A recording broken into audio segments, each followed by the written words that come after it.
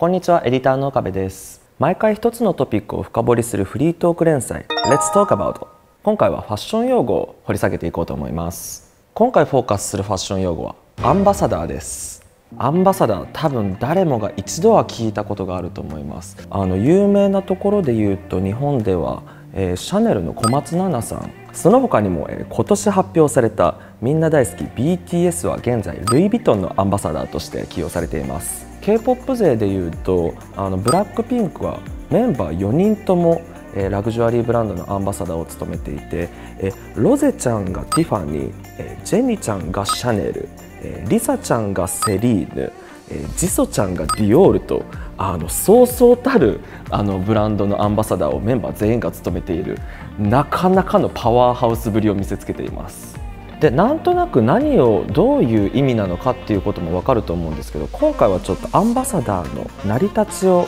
含めて、えー、少しお話ししていきたいなと思います。まずアンバサダー直訳すると、えー、英単語で大使という意味です。まあ、大使館がエンバッシーなので、まあ、それと同じような成り立ちなのかなっていうことは推測できるのかなと思います。ファッションにおけるアンバサダーの意味としては、まあ、宣伝大使というかブランドの世界観を最大限にこう体現してくれるような存在という意味合いも含まれているんですがということは類義語に、えファッションアイコンであったりとかミューズっていう表現も出てきます。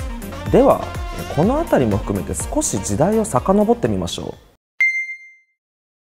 ミューズの歴史はあのそこまで最近のものではなくて昔からあるんですね、まあ、有名なところで言うとココ・シャネルの友人でありミューズであったミシア・セールという、まあ、当時の社交界の花の女性であの数々の有名なアーティストのパトロンを務めていた女性がいるんですが、まあ、ミューズという概念自体はその頃からあると言われています。でこのファッションアイコンであったりミューズアンバサダーといったファッションブランドのイメージを体現するようなロールモデルの存在ざっくり分けると3つの時代に区別することができます。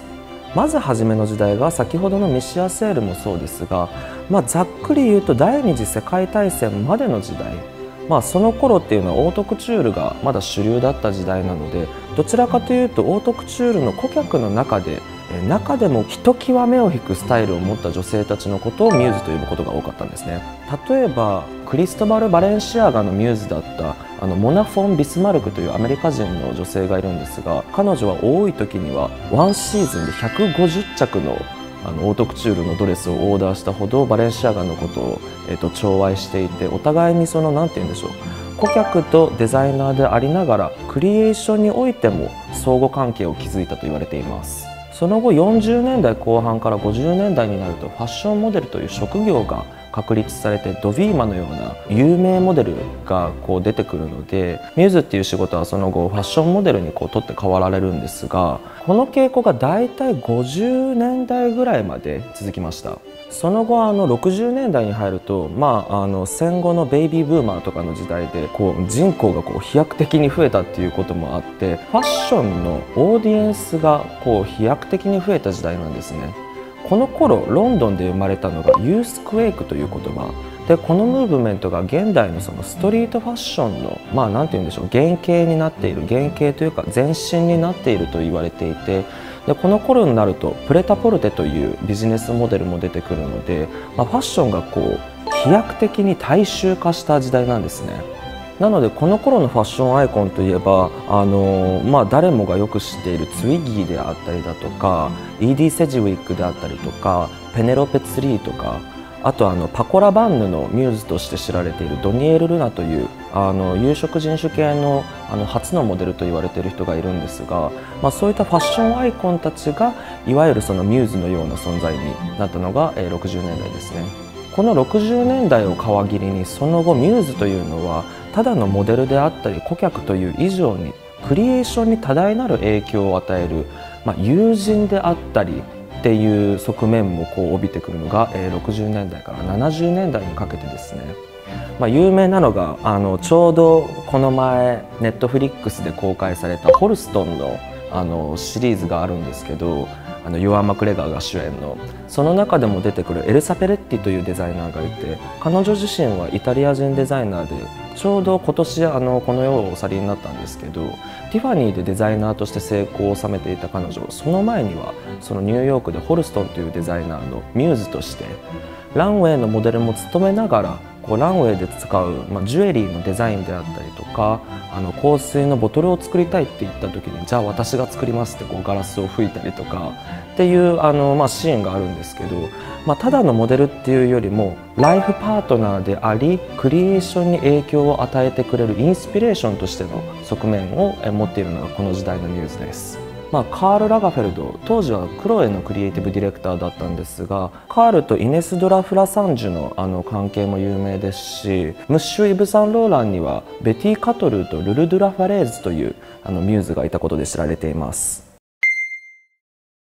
モデル顧客としてのミューズその後ファッションが大衆化することによってデザイナーにインスピレーションを与える存在としてのミューズそしてこの関係性に大きな変化をもたらすのが2010年代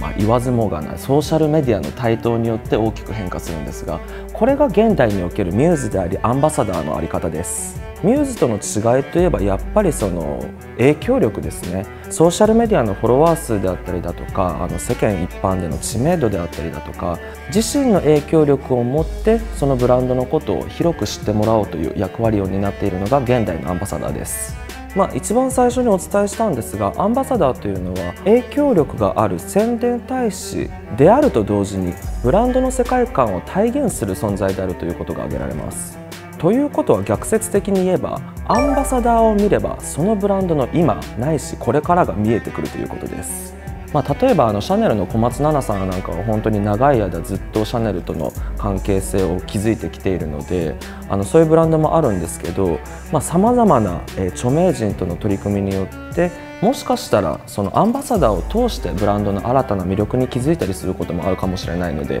ブランドだけではなくてぜひアンバサダーの方にも目を向けてみるともっとファッションが楽しくなるかもしれません。レストーカバウトでは今後も、え、聞いたことはあるんだけどよく知らないファッション用語を、え、ガシガシ切り込んでいきたいと思うのでもしあの取り上げてほしいっていう用語があったらぜひコメントお願いします。チャンネル登録と高評価よろしくお願いします。